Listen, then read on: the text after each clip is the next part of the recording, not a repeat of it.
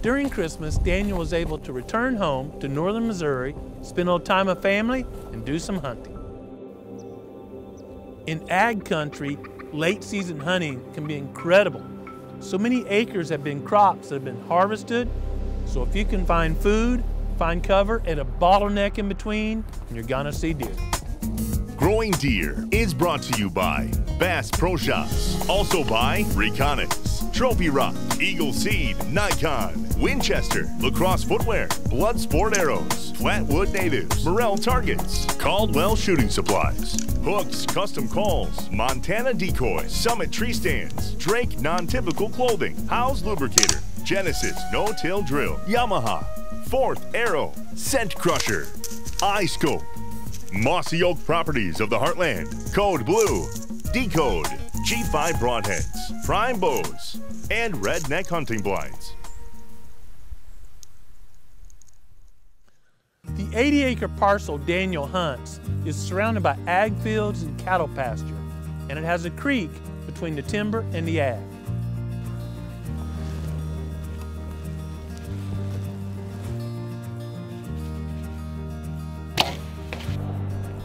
Last winter, Daniel harvested a nice doe hunting his property and had a cool encounter with a buck that had already shed one antler.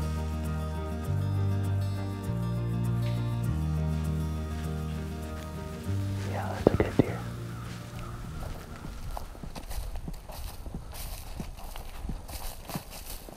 With cold weather and snow forecast, Daniel decided to hunt the southern end of this block of timber.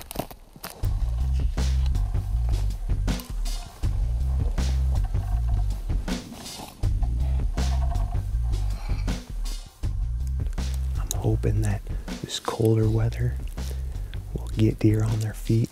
We got a bean field back behind me. It's cut, but there's a lot of beans still on the ground, so saw a lot walking in.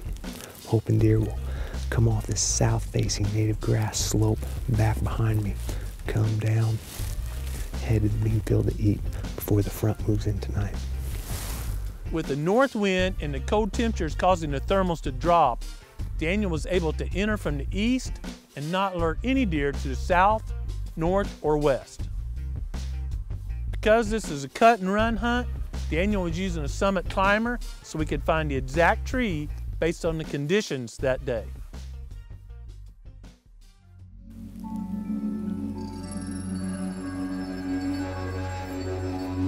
It was a beautiful winter afternoon, and Daniel saw several critters, including lots of bald eagles. As Daniel anticipated, movement was slow until the late afternoon. Right at dark, Daniel heard a splash of water.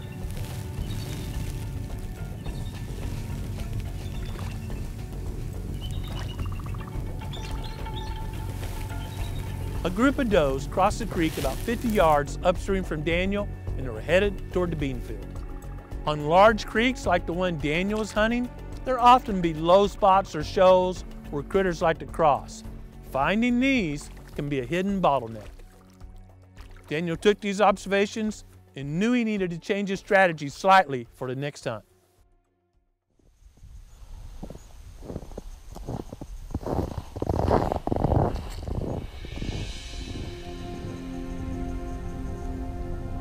Several days later, there was another favorable wind forecast, and Daniel knew he needed to move a bit closer to the creek crossing. Using a climber made it easy for Daniel to move a little closer versus tearing everything down and resetting. With the recent six inches of snow and single digit temperatures, Daniel thought the deer might be moving a little earlier. It's late season. The freezer is full of doe meat, so I am really looking for a, a good buck here in northern Missouri. I think there's a good chance one will be on his feet, cruising through this bottleneck, trying to work into this this bean field back behind me. A couple nights ago, we had about six inches of snow move through. Deer are hungry. There's not a lot of food in this timber or in the area except to the bean fields just behind me. Deer are hungry and they're going to be moving. Not long after Daniel settled in, he saw the first group of deer. A short time later, Daniel saw more deer moving down the hill.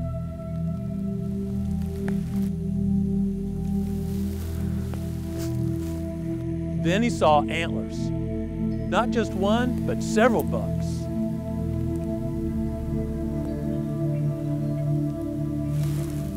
One of the bucks bedded on the hill about 90 yards away. Suddenly, a group of does passed about 20 yards in front of Daniel's stand.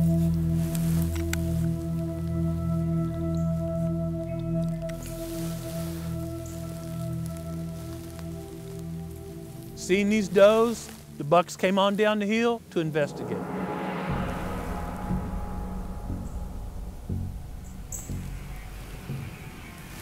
Daniel patiently waited, hoping one of the bucks would step into range.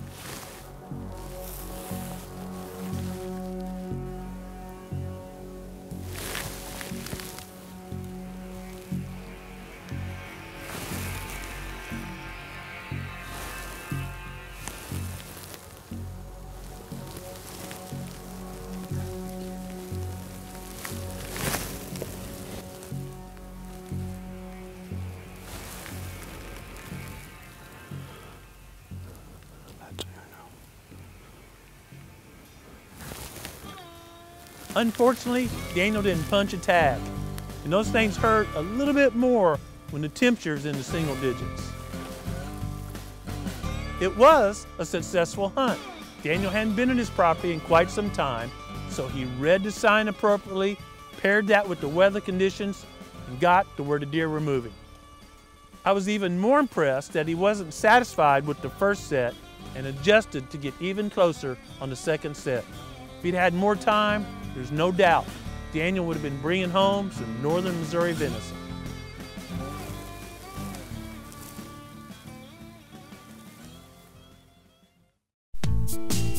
Here at the Proving Grounds, we're also adjusting our strategies given the current conditions in the late season.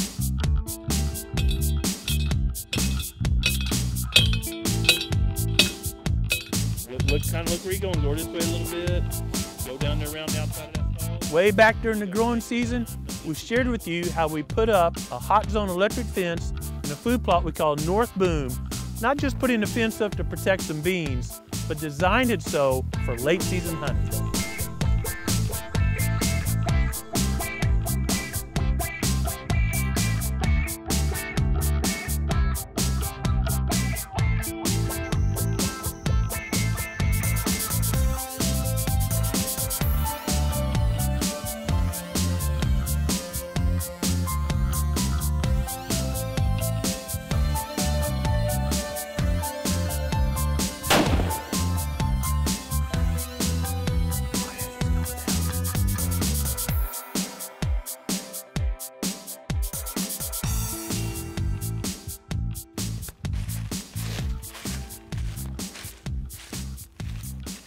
We've been waiting a long time, but it's time to open up the Hot Zone electric fence.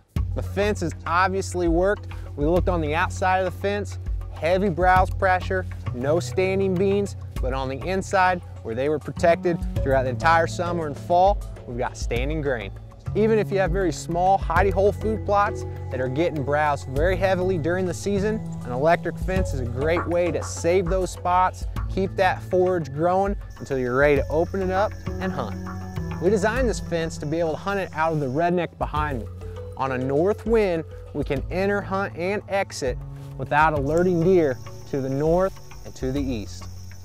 Today we're going to open up the fence on the north and east half, leave the south and the west up, and keep the fence hot to keep deer from slipping in on our downwind side. Opening the gate is easy. We've already got the gate handles in place. We just gotta pull pins and posts, wrap the strands back around the other side, and we're ready to go.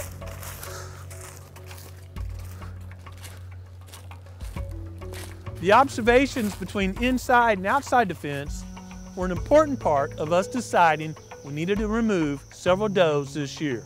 We want to make sure there's adequate food for all conditions, warm, cold, drought, rainy, for deer year round.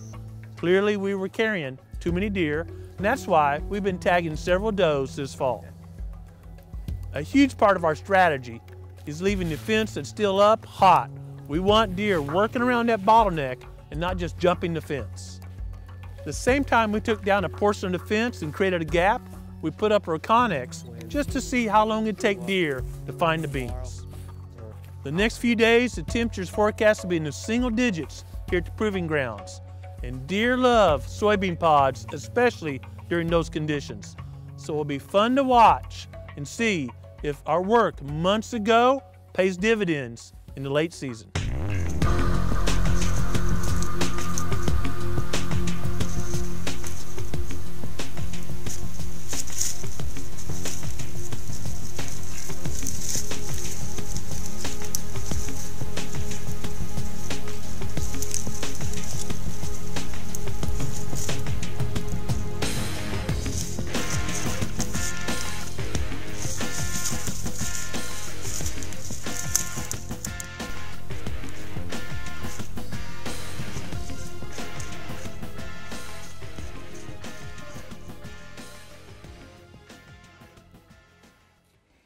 And this, there's zero connective tissue here.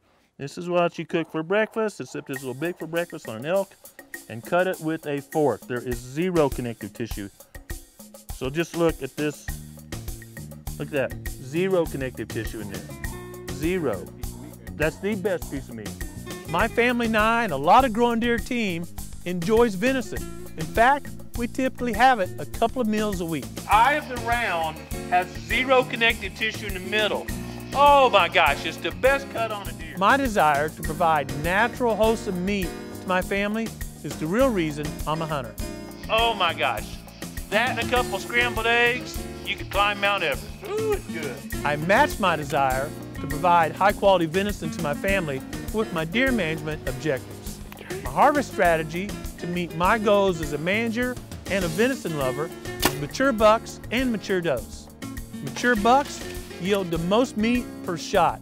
And the meat is fabulous as long as you process it well. We've showed you how we debone and cut all the connective tissue off the meat.